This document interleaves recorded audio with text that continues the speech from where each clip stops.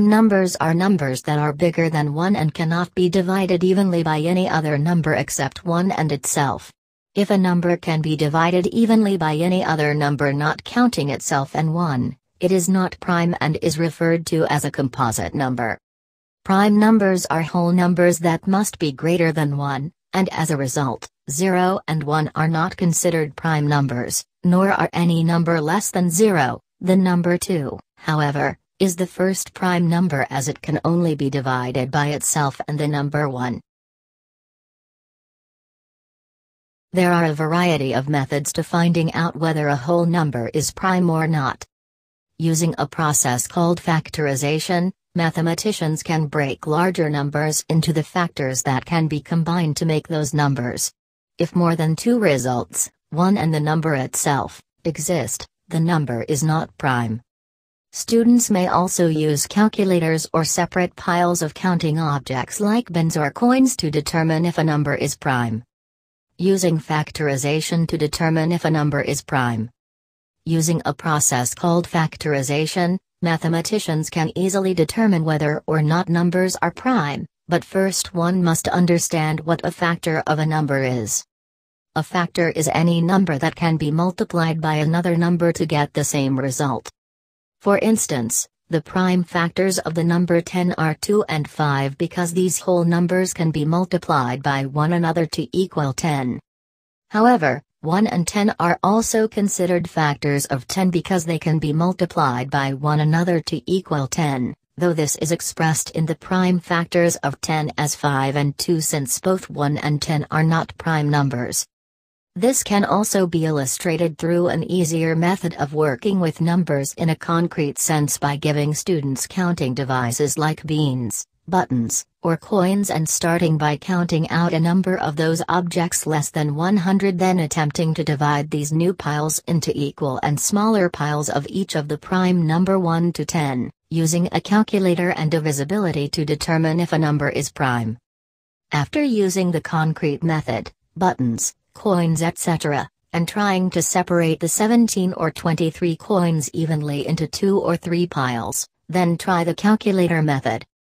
After all, with any concept, concrete methods should be used before automated methods. Take your calculator and key in the number you are trying to determine is prime by first dividing the number by 2 then by 3 to see if the result is a rounded whole number. Let's take 57 and first divide it by 2. Does it come out to a whole number? No, you'll discover it's 27.5. Now divide 57 by 3. Is it a whole number? Yes, you will see that 57 divided by 3 is 19, which is indeed a whole number. Is 57 prime? No, 19 and 3 are its factors, which means the number is not a prime number, though its factor 19 is a prime number. Divisibility and divisibility rules play a huge part in determining whether or not a number is prime. For instance, one divisibility rule states that if the number is even, it can be divided by 2 and is, therefore, not a prime number.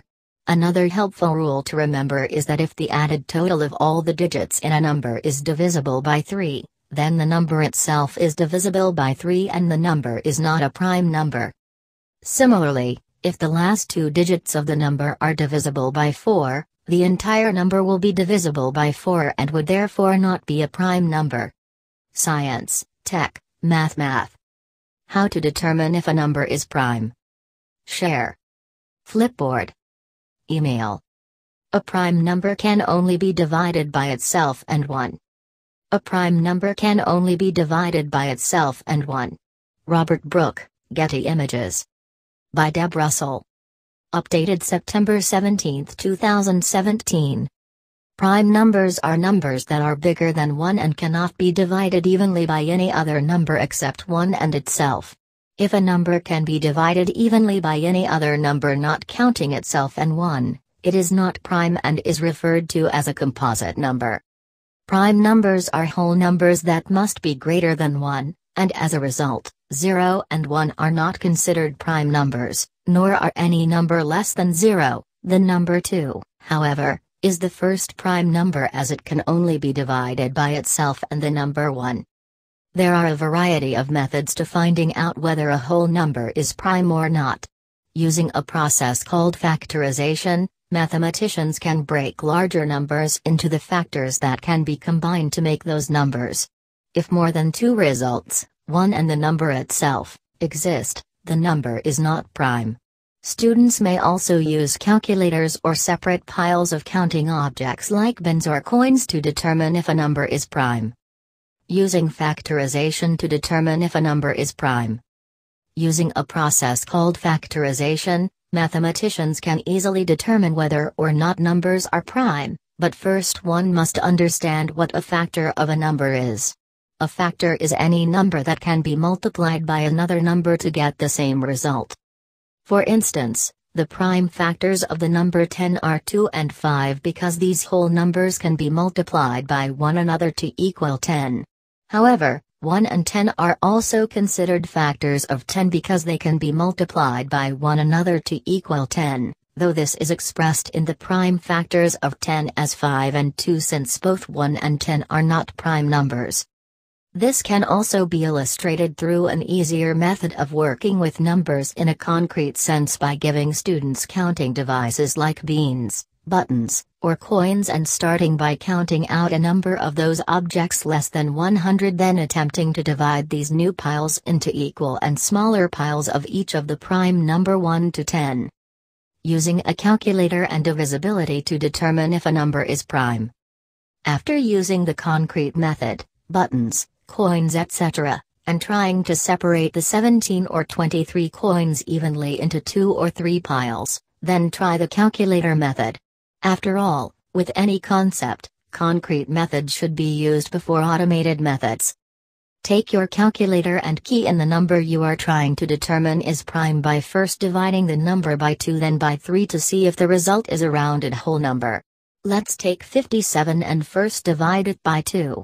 Does it come out to a whole number? No, you'll discover it's 27.5. Now divide 57 by 3. Is it a whole number? Yes, you will see that 57 divided by 3 is 19, which is indeed a whole number. Is 57 prime? No, 19 and 3 are its factors, which means the number is not a prime number, though its factor 19 is a prime number. Divisibility and divisibility rules play a huge part in determining whether or not a number is prime. For instance, one divisibility rule states that if the number is even, it can be divided by 2 and is, therefore, not a prime number. Another helpful rule to remember is that if the added total of all the digits in a number is divisible by 3, then the number itself is divisible by 3 and the number is not a prime number. Similarly, if the last two digits of the number are divisible by 4, the entire number will be divisible by 4 and would therefore not be a prime number. Other methods and helpful hints for determining prime numbers. Although it is not recommended to use until a student grasps the core concepts of prime numbers, the prime number calculator is a quick and easy method to determine if a number is prime or not, as are prime factorization trees, which is a method similar to factorization. For factorization trees, one is usually expected to determine the common factors of multiple numbers. For instance, if one is factoring the number 30, he or she could begin with 10 by 3 or 15 by 2. In each case, the mathematician will continue to factor 10, 2 by 5, and 15, 3 by 5, and the end resulting prime factors will be the same, 2, 3 and 5. After all, 5 by 3 by 2 equals 30 as does 2 by 3 by 5. Simple division with pencil and paper can also be a good method for teaching young learners how to determine prime numbers. First, take the number and try to divide it by 2, then by 3, 4, and 5 if none of those division yield whole number results. Although this can be time consuming and not particularly useful for large numbers, it's incredibly useful to help someone just starting out with the understanding of what makes a prime number prime. When working with prime numbers it's important that students know the difference between factors and multiples.